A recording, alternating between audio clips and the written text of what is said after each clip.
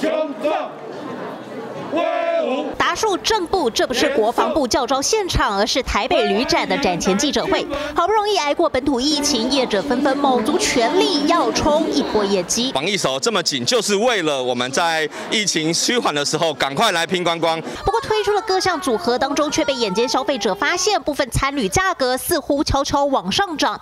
像是喜来登的十二厨下午餐，一口气调高五百块钱；韩式爱美的探索厨房下午茶，也从九百九十块。涨到一千两百九十元，金华伯利厅平日下午茶也贵了一百块钱。业者表示，这一波价格调整主要是因为原物料不断飙升。那个主要是餐厅的餐价涨了之后，那其实呃我们餐券的部分的话，价格也有一些调升。其实根据主计处统计，CPI 涨幅高达百分之三点三一，包括猪肉、酱油、沙拉油涨幅通通超过百分之五，加上基本工资调整，难怪大饭店也不得不涨价维持营运。去年是一张两千九，今年的话是一张二九九九，差九十九块钱。虽然要掏出的钱变多了，不过业者强调服务菜色通通升级，希望在疫情趋缓后的旅展冲一波年底业绩。